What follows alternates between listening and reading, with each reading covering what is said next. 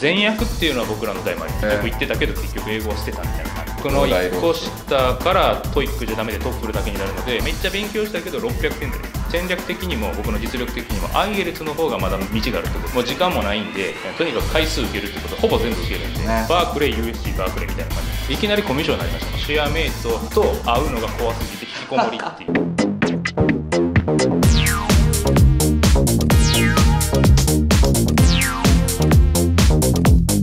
さあでは始まりましたモテチャンネルです。今回はですねさあやってまいりました。再びですね灘高出身東大リーチロースクール。そして今は弁護士、じゃあ自己紹介を。はじめまして弁護士の井上と申します。フロンティアチャンネルっていうチャンネルで、まあ、法律解説とさまざ、まな素敵な人のインタビューっていうのをやっておりますよろしくお願いします。はい。ということで弁護士になったわけですから超高学歴もう本当にもういえいえもうそんな。学歴中たちがもう本当に土下座するようなですまあね 恐縮としか言いようがないんですけども。はい。今回はですね英語どうやってやってきたのかっていうのですねねぜひもう聞きたいぐらいですけれどもディスカッションしたいと思います本当に。いやでもすごいじゃないですか。やっぱ UC バークリーとそして USC うんうにん。留学しているぐらいですからさぞかし英語は？いやいや素晴らしい。本当に英語苦手で。あだからどちらかというと、まあ、将来留学された人はい。がこんなに英語できなくてもなんとかなるんだっていうことをねお伝えできればと思います、じゃあその辺のところを聞いてください、はい。えまず英語はちっちゃい時とかはどうだったんですか？あ全くやってなくて、はい。えっと中学に入ってから、まあ、それこそ灘中の勉強みたいな感じで始めたところですね。灘中って言うんですね。そうですね。すごい。ピカチュウタナチュウとかなんかもうピカチュウっぽいですけど普通にやってて。もうどうなんですか？レベル的にいきなり難しいのから来るんですか？いやもう本当に英語は普通ですね、あえー先生の授業も普通、はで生徒の能力もできる人はめっちゃできるんですけど、はいはいまあ、数学理科とかに比べるともう全然普通なイメージですね。得意なやつはもう本当天才的にできますけど、本当に苦手意識持ってる人は一番多いと思いますね。そうだったんですね、でまあ前回の動画で言ってましたけどそんな高校も普通だったと。もうごくごく普通でで英語できなすぎて英語だけ塾に通ったぐらい英語できなかったですね。灘はもう本当に1年で前半終わらせてもうあとは演習だみたいな感じですからね。そこで哲力行ったんですよね。そうですね。中学校の時は僕あの英語の苦手意識が強すぎて、はい。まあ自分でも記憶が塗り替えられてたんですけど、はい。たまたま実家の成績を見たら中学校の時英語の成績めっちゃ良くてはい実は良かったっていうことを今知ったんですけど、でも高校ぐらいできっかけはもう忘れたんですけど英語苦手だってこう自分に刷り込みを始めて、うんはい。多分自虐ネタだと思うんですけど、うん。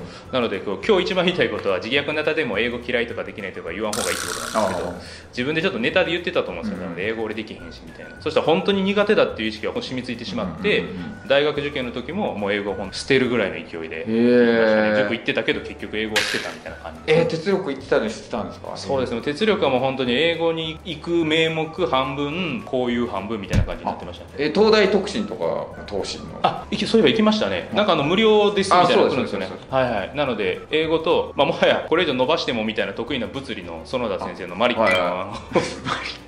マリックの授業をめっちゃみんな受けてましたね。はもう伸びんやろうぐらい物理好きなやつらがむしろ もうエンジョイのために行ってた感じ。そうそうですよね。そういう感じ。であじゃあ宮崎孫先生の受けてたんですか？多分ですね。ちょっともうあの記憶にはない。もう本当にね恐縮ながらマリック園田さん以外の名前を忘れてしまいましたけども東進さんは無料だってことで、はい。みんな行くんでね。行きましたけどその他はもう哲力会のしかもクラスもなんかもう覚えてないぐらい良くない、まあ、真ん中か下ぐらいのなんかクラスで。あそうね。東大特進もそうですね。無料だって言って灘うんうん。の子たち、僕高一やってたんで大う阪んわーってきてめっちゃ来るでしょうね。うん。東大特進が有料だって買った途端に そうですね。ちょっともう本当ただやし行こうかみたいな感じで。行くんではい灘の中での授業は普通に英文和訳とか？そうですね。もう本当にシンプルイズベストって感じで、はい。まず前訳っていうのは僕らの代もありましたね。あなんか英文の課題があって、うんその物語をまあ全部訳すってことですね、はい。はで本当シンプルでで一人ずつ当てられてって、はい。その一文なり一段落を訳すと。はいはい。ただなんかその訳し方が、まあ、すごいこだわりのある先生だったんで、めちゃめちゃこだわった訳になってましたけどね。直訳とかだとあれみたいな感じで、もうちょっともう国語寄りでしたね。過去のこういう流れからするとここはこう訳した方がいいやろうみたいな,、うん。なんか深くなんかやっていくみたいな感じで、ほぼ分からなかった。で す東大で英語はやったんですか？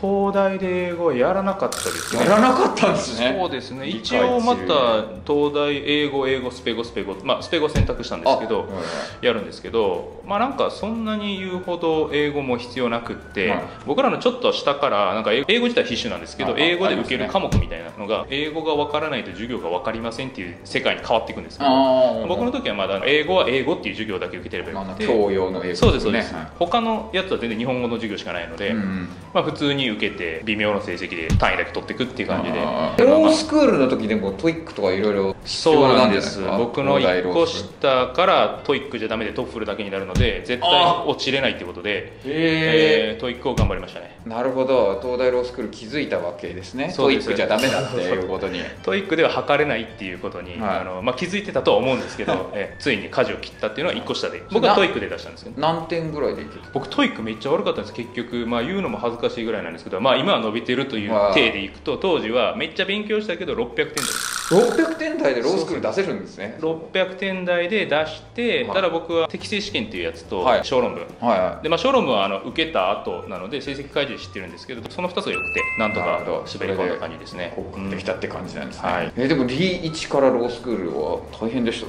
まあ、未修コースなので法律はいらないんですけど、はい、なので入るのはもうどちらかというと理系的な試験ですね。まあ、パズルみたいな適正試験と、あと国語か、小論だから国語と算数が得意な人は未修コースを入ると思います、そして留学することになるわけむちゃむちゃ大変だったんです。英語苦手だから。どっちが先ですか？バークリーと USC は。えっ、とバークリーですね。はい、はい、バークリー北の方が先で。そうですそうです。そっちはどういうきっかけで行くんですか？そもそもここそうですけどビジネスロイヤーの人は全員じゃないんですけど45、年弁護士をやるとアメリカのロースクール、まあ、イギリスもあるんですけど留学して、で1年間研修積んで帰ってくるっていう、うん、まあそういう研修プログラムみたいなのがいろんな事務所にありまして、はいでうちもそうなので、まあ、ちょうど時期が来たから、はい、あチャレンジしてみようっていうのに乗ったっていうのが、まあ、タイミング的にはそういうこと。でバークリーどれぐらい期間いたバークリーはちょっと特殊なコースで、はい、まあ、4か月と4か月で、はい、夏を含む4か月4か月ですね。だからまあ先か後かというと難しくて、まあ、バークレー USC バークレーみたいな感じなんですあそうやってやったんですねそうですね。本当に2個行くと2年かかるんで、はい、そう挟むと15か月で2個行ける。ああ15か月でじゃあ2つ行ったわけですね、はい、2つ行きましたね。す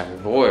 ずっと法律を学ぶそうですね。スペシャリティというか専門はエンターテインメント当然 LA で USC で主にやって、まあ、それ以外の特許とかパテントとかいわゆる IP を、うん、バークリーでやったって感じですけど。特許関係で、ね、まさに特許関係です、はい、そこでガッとやったわけですよね。そうですね。そこでもそうだし、まあ、そこ留学行くために勉強をかなりしないといけないので。そうですよね。そうなんです。何やったんですか留学結局、まあ、トッフルとアイエルツのどっちか出さないといけなくて、はい。はいはい、どっちもトライしてたんですけど、はい、もうトッフル難しすぎて、まあ、115点とかも本当神だと思うんですけど大変なんですよ。それでいや本当に難しいです、もう TOEIC とかもう全然比にならんぐらい難しくて、ということでずっとやってたんですけど戦略的にも僕の実力的にも IELTS の方がまだ道があるってことで、途中で IELTS 1本に絞りまして、で基本的には IELTS の四捨五入で点数つくんでそうです、ね、ギリギリこういって四捨五入でっていうのをまあ重ね合わせてなんとか点取ったって何点でいける7.0でいけるんです。あじゃあ7.0を。そうですね。7.0と TOEFL の100が一緒って言われてるんですけど、はい。はい、そんなことはなくて。そんなことはないです、はい、四捨五入で7.0なんで6.75でいいのでそんな感じですね。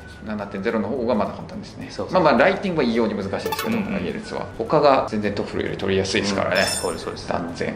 で僕行って7.0取っても実生活になったらもう全然違うじゃないですか。全然ですよ。もういきなりコミュ障になりました そういう話は聞いてたんですけど、はい、こんなに自分が変わるのかっていうぐらい、はい、まあこうもね初対面なんですけど、はい、人前でもまあ普通に喋れるっていうのは得意だと思って弁護士とか、あの数学の先生やったりしてきたんですけど ガチのコミュ障になりましてもう自信のなさが完全に露呈してて。授業大丈夫です。ついていけました？ついていけたかどうかももう分からないくらいですねもう今となっては。必死すぎて。めっちゃむずいじゃないですか。だって専門ですからね。予習したとこだけ聞こえるし、はい、分かるし答えれて、はい、予習してない部分は一切カオスっていう。それも明確に分かります。ねやったとことやってないとこでもう聞こえるかどうかが。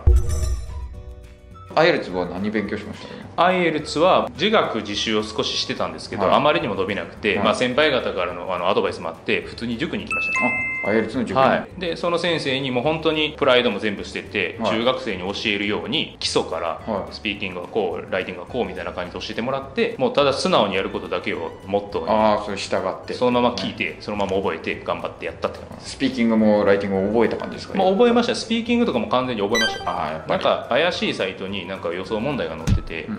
中国のどっかのやつの天才らしいんですけど、はいはいはい。なんか意外に当たっててなんかそういういろんなまとめサイトみたいなの見て予想して自分で作ってやってましたね。あと受けまくってたんで留学生あるあるなんですけど弁護士留学生は本当にもう時間もないんでとにかく回数受けるってことでほぼ全部受けるんでひたすら受けてると同じ問題を聞かれるっていう。そうそうそうそう。金づるなんですよ本当に2万ぐらい払い続けて。アイレツ側は母でした。そのアイレツ塾の方もねう そうそうそうそう。ははお金払ってくれるからひたすら弁護士っていうのはすごいありますもんね。でも、まあ、特にアイエルツってイギリス英語ですからねアメリカ行っても全然違う英語が待ってるわけじゃないですか、うんもうひたすら打ち気になってましたね。もうその授業についていくのに必死。そうです、まあ、授業もそうだしそもそも僕シェアハウスに行ったんですよ。あーはいはい。あのシェアハウスのシェアメイトと会うのが怖すぎて引きこもりっていう話すのが。怖くて。授業中もだって討論とかありますよねそうなんですよ。討論がもう当然苦手で。はで討論以前の問題として問いが出されるんですけど、はい。はいで紙パーって配られて、はい。ディスカッションせよって言われるんですけど、はい。読むの遅いから、はい。ディスカッションせよって言われた時まだ読んでるんですよ。いなるほどなるほど。でもこうヨーロッパから来た人とかブワー喋ってて、でもう両方聖徳太子みたいにできないんで 問題読み終わった頃にディスカッションもまあほぼ終わってて でなんか agree するかみたいなことを聞かれて totally agree ってなんか言ったかって意見は特にありませんと。ちょうどお前が言ったやつやでみたいな感じでうんドヤ顔で過ごすっていうのを、まあ、恥ずかしいなと意味ないなと思いながら最初は本当に。いでもだんだんだんだんやっぱ伸びてはきたそうですね。英語は伸びたというよりもそれもあるんですけどやっぱ僕もともとの作戦だったんですけどサッカーをやってたので、あはい。サッカーとかフットサルってそのノンバーバルコミュニケーションが起きたんですよ「はいヘイ」みたいな。それで友達ができるとようやくこう内気な心が少し溶けてくるのでそれでようやくちょっと会話ができるようになって、まあ、そこで少しずつ伸びていったといヨーロッパの人たちとサッカーしたりとかそうですね。ヨーロッパですね。みんなに声かかるんですけどアジア人あんま来なかったので、はい。まあ、基本ヨーロッパ勢。プラス、まあ、アジア代表みたいな。あ 中国の子とか応援には来てくれるんですけど、はいはい。あんまあのプレーはしなかったので、ね。はい、中国とかそうですね。あんまサッカーやんないですからね。あんまり見るの好きですけどそう彼ら。そうそう応援はしてくれるんですけど、うん。あ韓国人とかいなかったんですかね。結構軍隊でやるんですけどね。あ韓国うまい。そう韓国うまいんです確かにこれ USC の方ですけど USC では韓国がもうチームができるぐらいいて強かったですね。軍隊の中でみんなこうムキムキで。サッカーやるのしか娯楽がなかった。あそうなんですか。それでみんなすごくなる。で15ヶ月でどうですか？伸びましたよね。でもねそれは日本来て受けなかったんですか？結局英語のテストその後。よっしゃ伸びたああ受けたいですね。ももう極力試験は受けたくないっていう。やっぱり。最後の試験やと思って受けたのでただ伸びたとは思いますね。あのやっぱ時間差があるので、は在学中に一気に伸びたというよりも、まあ、どちらかというとできなかった時の内気な時代が結構成長には役立ってて喋りたいから聞くじゃないですか。はいはい。ビビって返しはできないんですけど、うんうん頑張って聞かないとこのコミュニティで生きていけないっつって聞いてた時のあれがまあ何ヶ月後かに少し伸びたかなって感じですねまあ、最終的にはサッカーでコミュニケーション。そうですね。そこで仲良くなると間違ってもいいんだっていう気持ちになあってそうそうそう。そこが重要です。日本人やっぱ間違っちゃダメ間違っちゃダメだってファーストインプレッシションをねよくしようと思って最初ミスらないようにしようと思って前日にスクリプトとか作るからミスるそんなんダメです。そうハワイユーから始まってる時点でもうちょっと。本当に間違ってもいいからもうそうそってやるっていうのが一番大事。おっしゃる通りです、えこれからなんか挑戦するんですか？じゃあ見てみますよ。 TOEFL 挑戦への道とか。ああ いろいろね。YouTube なり企画やったら IELTS リベンジとかいやいや 僕一応英語そこそこ底辺から上がってできるようになった体なのでもうここはもうちょっと見えない形で、え自分の心の中の点数のまま生きていきたいと思います。はい。これは。あチャンネルね。ぜひ登録してみてください。はいありがとうございました。ありがとうございました。